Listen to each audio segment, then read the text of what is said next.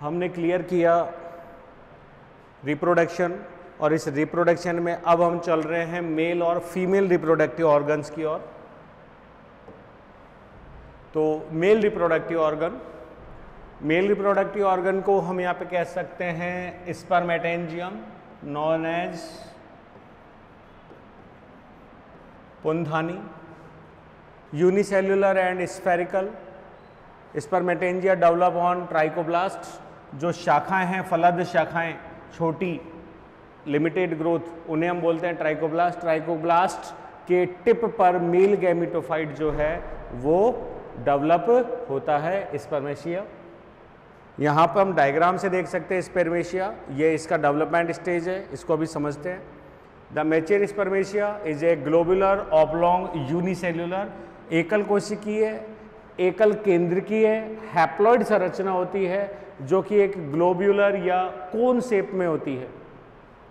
During development of spermatia all cell expected है few basal cells divided periclinally कोशिकाएँ जो हैं वो पेरिक्लिनल डिवीज़न करती है, अर्थात परितनिक, और परितनिक विभाजन से फॉर्म करती है पेरी सेंट्रल सेल्स इसी डायग्राम को अगर हम एक बार डायग्रामेटिक रिप्रेजेंटेशन से बना के देखें तो ढंग से देखिए यहाँ पर ये है central cell that is trichoblast cell जो कि वहाँ पे डेवलप हो रहा है। इस ट्राइकोब्लास्ट सेल के अंदर अगर अपन यहाँ पे देखें तो इस डिवीज़न को बोला जाता है पेरिक्लिनल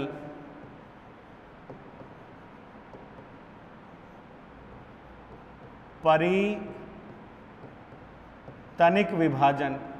इस परितनिक विभाजन से ऊपर की ओर एक कोशिका बढ़ती है। तो सेम इसी विभाजन से यहाँ पर जब ये विभाजन होगा तो इससे बाहर की ओर कोशिकाएँ बनेंगी। अर्थात अगर मैं इसको सेंट्रल सेल मानूं तो इसके विभाजन से यहाँ बाहर की ओर एक विभाजन, यहाँ एक विभाजन, यहाँ एक विभाजन, यहाँ एक और, यहाँ एक और। मैंने हालाँकि ये कोशिकाएँ दूर बनाई हैं, लेकिन समझने की बात है कि इसके चारों तरफ़? अर्थात इस कोशिका के पेरीसेंट्रल यहाँ पे विभाजन हो रहा है, जिससे बाहर की तरफ़ हमको कोशिकाएँ मिल रही हैं जिससे हम बोलते हैं परिधीय कोशिका या पेरीफ्रल सेल्स। तो यहाँ इस डायग्राम में हमें ये पेरीफ्रल सेल्स देखने को मिल रही हैं। जब हम एलएस देखेंगे तो हमें पेरिफेरल इन दो पंक्तियों के रूप में ही दिखाई देगी। जब हम टीएस के रूप में देखेंगे तो ये पेरिफेरल हमें चारों तरफ़ बनी हुई दिखाई देती हैं। दीज आर पेरिफेरल सेल्स अब इन्हीं पेरिफेरल सेल्स में एक और विभाजन होगा, जिसके फलस्वरूप बाहर की तरफ़ दो से चार कोशिकाएँ बनेंगी, जो कि अर्धसूत्रीय विभाजन, वो सॉरी समसूत्री विभाजन के फलस्वरूप हैप्लॉइड होंगी। इन्हें बोलते हैं स्पोरेंजियम मदर सेल्स, मातृ कोशिकाएँ। और ये प्रत्येक मातृ कोशिका कायंत्रण द्वारा विकसित करती है एक चल बीजाणु को नॉन एज एंथ्रोजॉइड्स या फ्लैजिला इनके अंदर नहीं पाया जाएगा।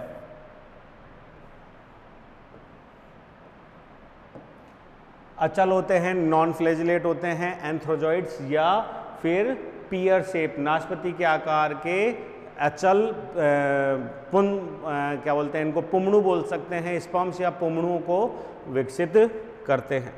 तो यहाँ देखिए तो during development of sporangia all cell except the basal cell divide periclinal ये रहा परितनिक विभाजन।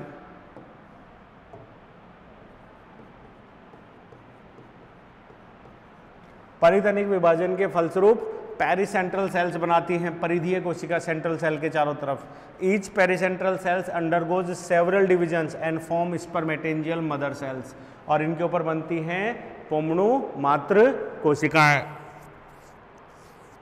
Each one cut off two to four unicellular bodies ये दो से चार एकल कोशिकीय संरचनाएँ बनाती हैं। इनसे डेवलप होता है spermatangia each spermatangia develop into a single non motile male gamete और इसको हम बोलते हैं स्पर्मेशिया जो कि हैप्लॉइड होता है। इसे हम बोल सकते हैं स्पम पर स्पर्म से ज़्यादा बढ़िया शब्द यहाँ पे आएगा। हिंदी में हम लिख सकते हैं पुमणु और यहाँ हम कर सकते हैं sperm the spermatia are liberated liberated का मतलब होता है प्रकीर्णित या निकलना। प्रकीर्णन from the spermatangia through a narrow apical slit on the wall भित्ति के ऊपर एक सिल्ट बनने से इनका विमोचन होता है। प्रकीर्णन या विमोचन। Next the spermatia are dispersed through water और स्पर्मेशिया का जो प्रकीर्णन है या जो विमोचन है वो वाटर करंट या जल की लहरों के साथ होता है। हालाँकि ये अचल होते हैं, बट हल्के होते हैं और जिलेटिनस होते हैं, जो पानी की सतह पर तैरते हैं, डूबते नहीं हैं। नेक्स्ट फीमेल रिप्रोडक्टिव ऑर्गन की बात करें तो female reproductive organ is called carpogonia carpo अंडधानी the carpogonia develop at the top of two to five cells carpogonial filament वही ट्राइकोगाइन वो ट्राइकोब्लास्ट सेम ट्राइकोब्लास्ट के सीड से जस्ट दो या तीन कोशिकाएँ छोड़कर इनका विकास होता है। जैसे मेल का होता है, वैसे ही फीमेल का होता है, लेकिन अलग अलग गैमिटोफाइटिक थैलस के ऊपर। The carpogonial filament develop on a female gametophyte thallus और ये एक फीमेल गैमिटोफाइट थैलस ट्राइकोब्लास्ट के ऊपर हमने पिछली वाली स्लाइड के अंदर इस डायग्राम को देखा था। फ्लास्क के समान संरचना है, एकल कोशिकीय है नॉन जैकेटेड है, आवरण नहीं है।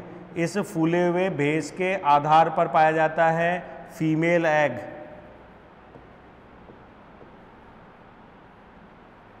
female egg nucleus इसको हम बोलते हैं ट्राइकोगाइन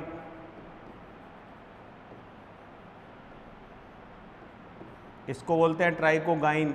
और आगे से चौंच के समान मोड़ा हुआ होता है। The carpogonium is a flask body with a basal sloven region containing egg, is known as carpogyne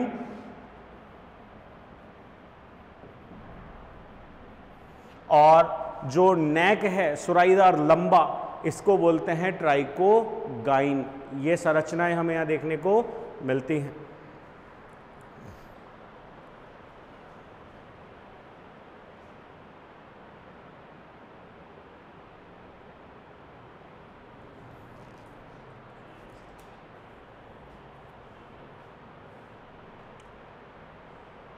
ये डेवलपमेंटल स्टेजेज हैं of carpogonia these are the developmental stages जिसके अंदर फ़र्स्ट जो ट्राइकोगाइन है, यहाँ पे डेवलप हो रहा है ट्राइकोगाइन इसको भी समझ लेते हैं, ये बहुत इंपॉर्टेंट है। यहाँ पर ये आ रहा है पूरा का पूरा ट्राइकोगाइन और ये जो ट्राइकोगाइन है, इससे ऊपर की तरफ़ वन टू थ्री सेल्स हमने छोड़ दी हैं, नीचे की तरफ़ भी वन और टू सेल्स को छोड़ दिया है।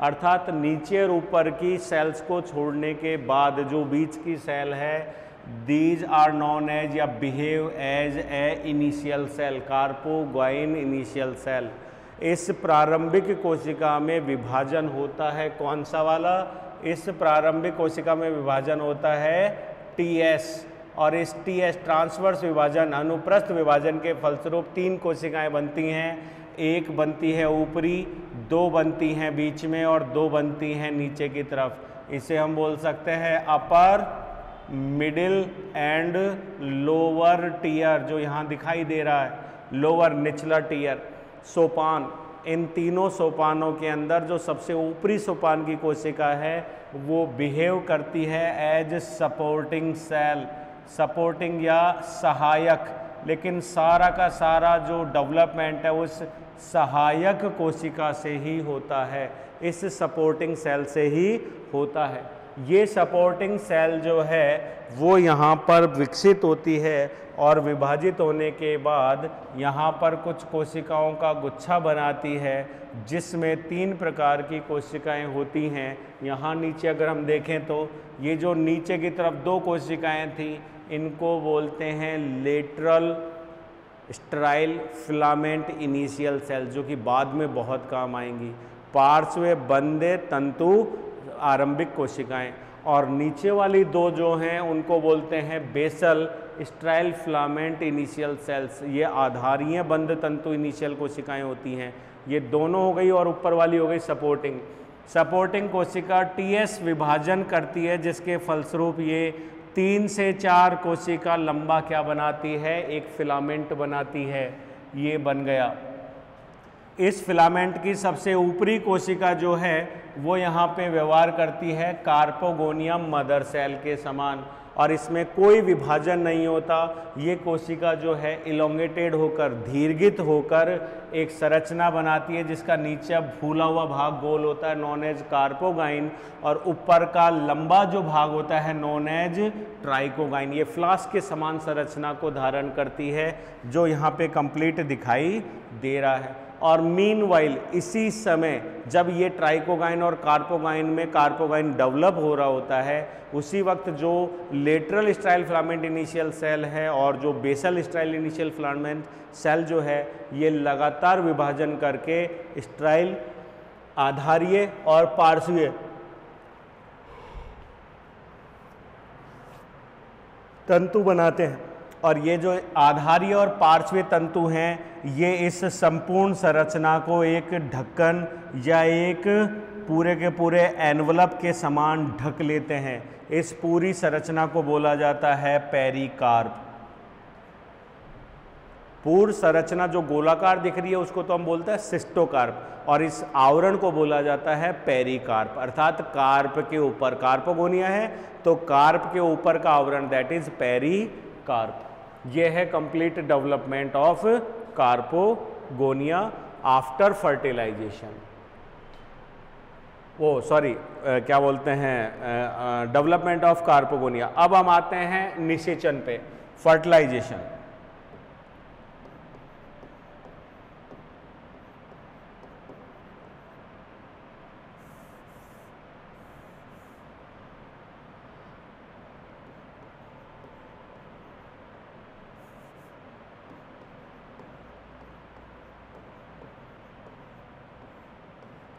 fertilization. Gametangia are dispersed with the help of water currents. Spermatangia के फटने और जल के करंट के साथ में स्पर्मेशिया जो है वो कीमोटैक्टिक रसायनुचलन द्वारा आकर्षित होते हैं फीमेल ट्राइकोगाइन की तरफ़ और पानी की लहरों के साथ या करंट के साथ बहते हुए वहाँ पर वितरित होते हैं या डिस्पर्स होते हैं। Few spermatia become attach to the tip of the receptive trichogyne उस रिसेप्टिव ट्राइकोगाइन से ये यहाँ पर आते हैं और उस पर द्वारा जो म्यूसिलेज छिड़का जाता है, उस स्त्रावित म्यूसिलेज से आकर्षित होते हैं और उस पर चिपकते हैं। Out of many only one become successful उन सब में से, सैकड़ों या हज़ारों में से एक सक्सेसफुल होता है।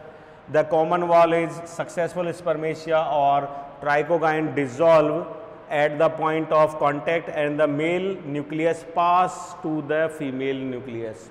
और इस प्रकार जो है मेल न्यूक्लियस फीमेल न्यूक्लियस के बीच के न्यूक्लियस के बीच में क्या हो जाता है? संपर्क या यहाँ पर फ्यूजन इसको बेस्ट वर्ड बोलेंगे फर्टिलाइजेशन निषेचन कंप्लीट होता है। इस निषेचन के उपरांत मेल और फीमेल न्यूक्लियस के मिलने से बनता है एक जायगॉट जो कि होता है द्विगुणित अवस्था। सामान्य अवस्थाओं में ये जायगोड जो है ऊस्पोर में कन्वर्ट होता है और रेस्टिंग फ़ेज़ शो करता है। लेकिन पॉलीसाइफोनिया में ये रेस्टिंग फ़ेज़ शो नहीं करता और इमिडिएटली यहाँ पर बिना ऊस्पोर के बने ये डेवलपमेंट स्टार्ट करता है और इसी जायगोड के डेवलपमेंट से जो संरचना बनेगी उसको बोलते हैं कार्पोस्पोरोफाइट तो हमारे जीवन चक्र की दूसरी विशेष अवस्था जो है वो यहाँ पे हमें देखने को मिल रही है। दैट इज़ कार्पोस्पोरोफाइट जिसके लिए हम कह सकते हैं it is recessive and dependent on gametophyte plant जो हैप्लॉइड प्लांट है, उसके ऊपर, और कौन से वाले हैप्लॉइड के ऊपर? फीमेल गैमिटोफाइट के ऊपर ये जो है, ये डिपेंडेंट होते हैं। This is diploid sporophytic phase in life cycle of Polysiphonia and it is dependent upon the gametophytic haploid phase. या gametophytic haploid female gametophyte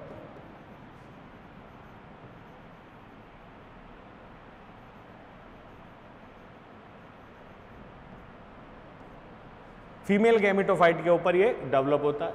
The diploid part of carpo cystocarp represents the carposporophyte ये important हो गया. Cystocarp का बनना ही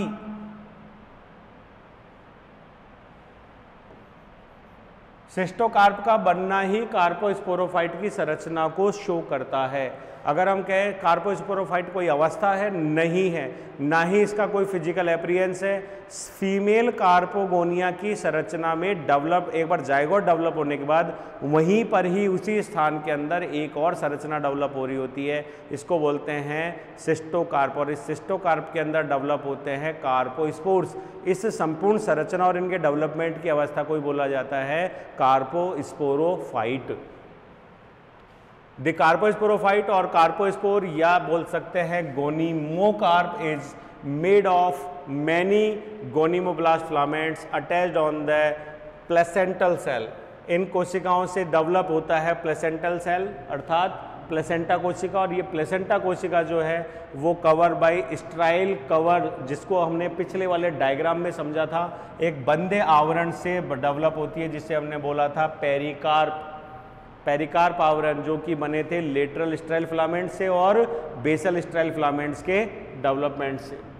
the terminal cell जो शीर्षस्थ कोशिका है, वो पियर फॉर्म होती है, फूलती है और इसी को हम बोलते हैं gonimoblast filament develop from the carpogonium. इसी टर्मिनल सेल जो कि फूली हुई कोशिका है, इसी से डेवलप होता है किसका? कार्पो स्पोरोगोनिया यहाँ पे नाम बहुत इंपॉर्टेंट है।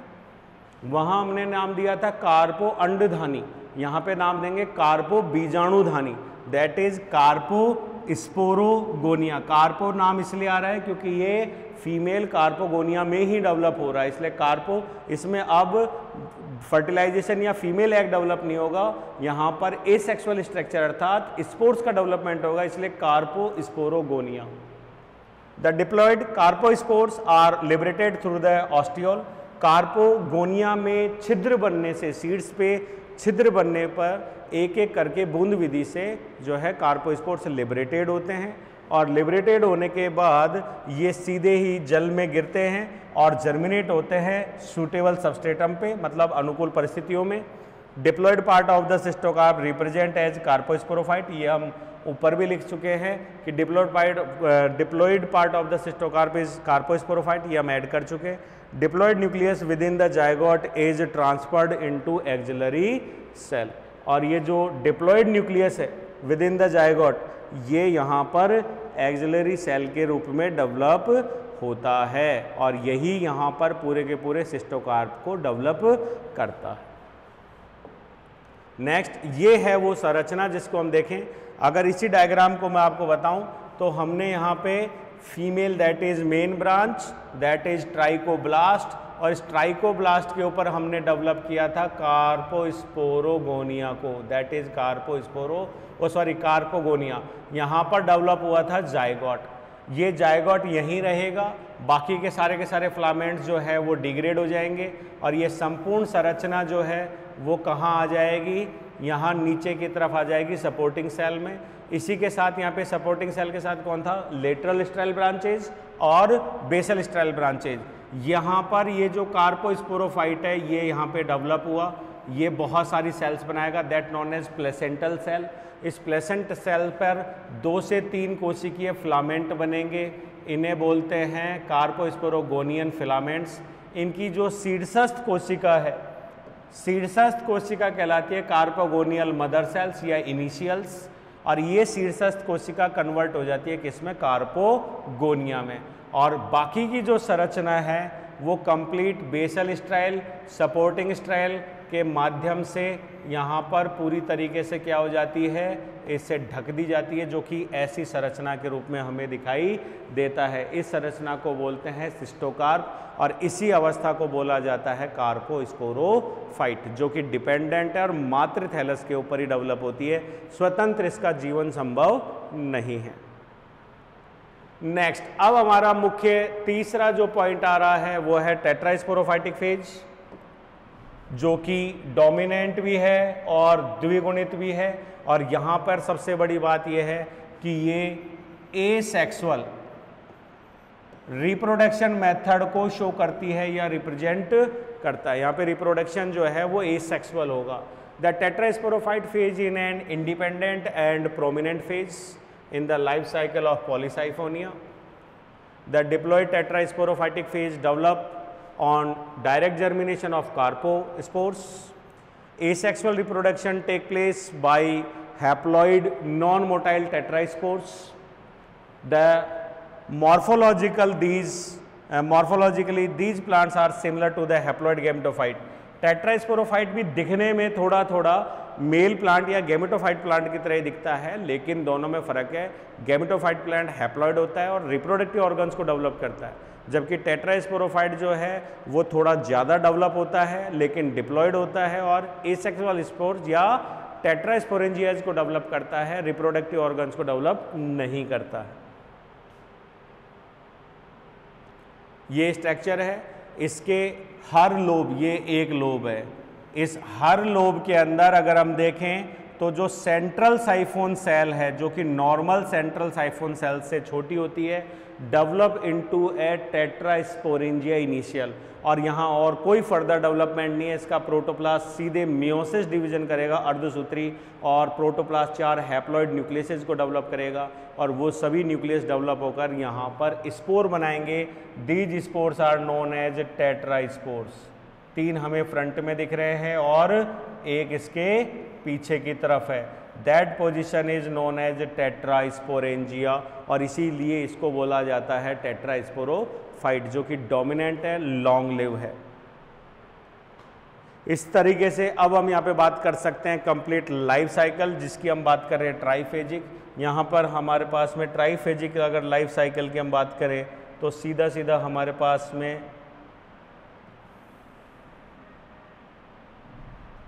तीन रिप्रेजेंटेशंस आ रही हैं, उसी के अकॉर्डिंग हम चले। तो फ़र्स्ट नंबर पे है गैमिटोफाइट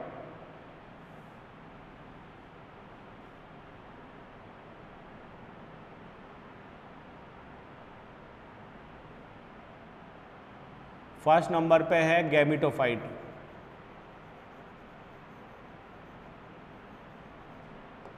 गैमिटोफाइट जो कि खुद क्या है एन है। और ये धारण करती है मेल गैमिट और फीमेल गैमिट को।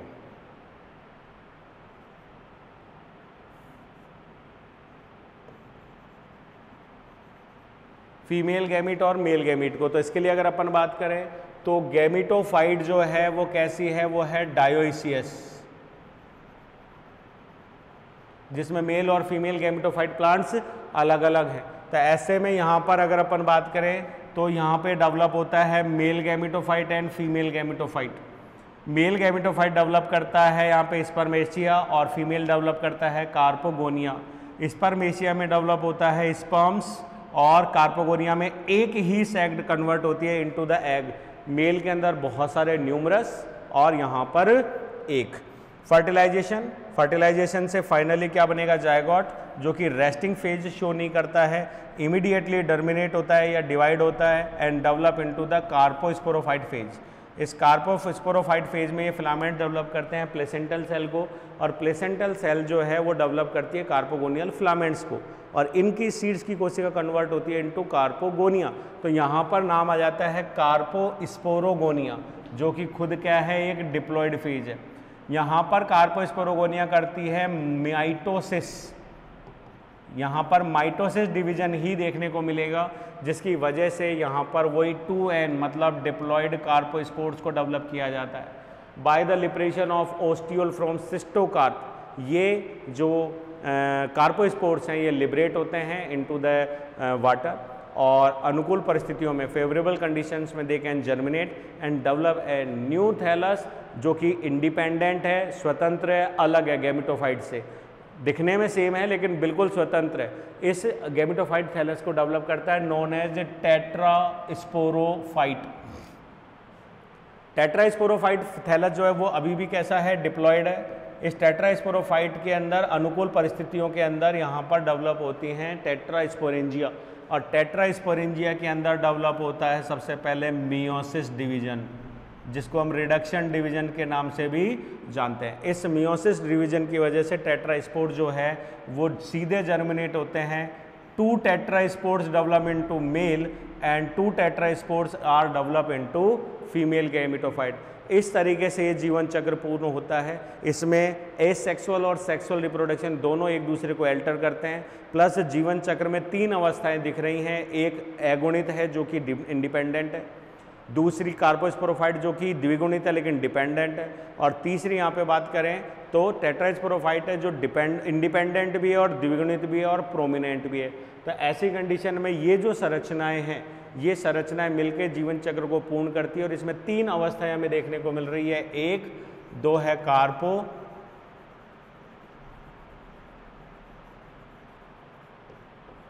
और तीसरी हमारी आ रही है यहाँ पे टेट्रास्पोरोफाइट।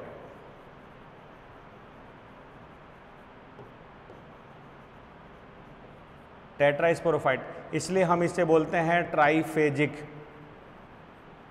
ट्राइफेजिक और ट्राइफेजिक अगर जनरेशन की बात करें तो इस प्रकार के जीवन चक्र को बोला जाता है haploid, diploid, diplontic life cycle मतलब haplo, diplo diplontic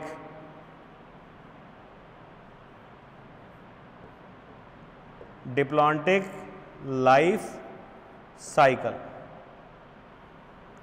of polysiphonia